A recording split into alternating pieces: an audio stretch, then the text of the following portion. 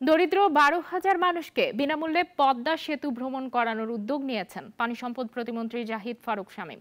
সকালে প্রথম ধাপে বরিশালের গড়িয়ারপাড় এলাকা থেকে ছয়টি বাসে সেতুটি ভ্রমণে যান তিনশো জন। বরিশাল থেকে তন্ময় তুপুর রিপোর্ট, জানাচ্ছেন সিরাজুমুনের শুভ।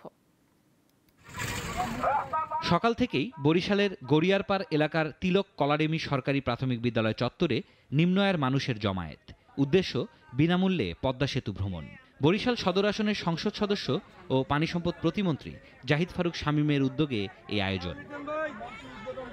এর শুরু নগরীর ত্রিশ নম্বর ওয়ার্ড থেকে হলেও পর্যায়ক্রমে ত্রিশটি ওয়ার্ড ও সদর উপজেলার দশ ইউনিয়নের দরিদ্র মানুষই স্বপ্নের পদ্মা সেতু দেখার সুযোগ পাবেন। প্রতিটি ওয়ার্ড ও ইউনিয়ন থেকে তিনশো জন করে পদ্মা সেতু ভ্রমণে যাচ্ছেন।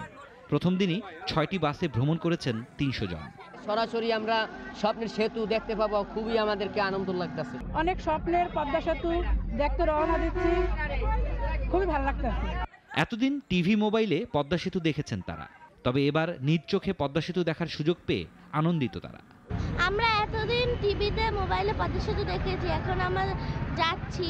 মোবাইলে ফেসবুকে টিভিতে দেখছি কখনো স্বপ্ন দেখতে পারি নাই এই জন্য আজকে সেই দেখার জন্য স্বপ্ন সত্যি হইতেছে আমরা দীর্ঘদিনের ইচ্ছে ছিল পদ্মা সেতু দেখার জন্য। এখন দেখতে যাইতেছি খুবই ভালো লাগতেছে। বাংলাদেশের গর্ব এই পদ্মা সেতু। এটি দেখার অধিকার সবার আছে জানালেন স্থানীয় সংসদ সদস্য। আমি এদের জন্য করছি যারা যারা পদ্মা সেতু দেখার সুযোগ পাবে না। এরা দেখে আসতে পারে তাদের একটা ধারণা হবে, বুঝবে যে মাননীয় প্রধানমন্ত্রী কী বা- বানিয়েছে দক্ষিণাঞ্চলের মানুষের জন্য এবং তারা এসে তার গ্রামের লোকজনকে বলবে। এমন ভ্রমণ নিম্ন আয়ের এসব মানুষের মনে তৈরি করবে নতুন স্বপ্ন।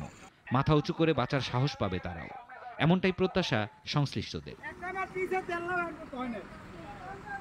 সিরাজুমনি শুভ, নাগরিক।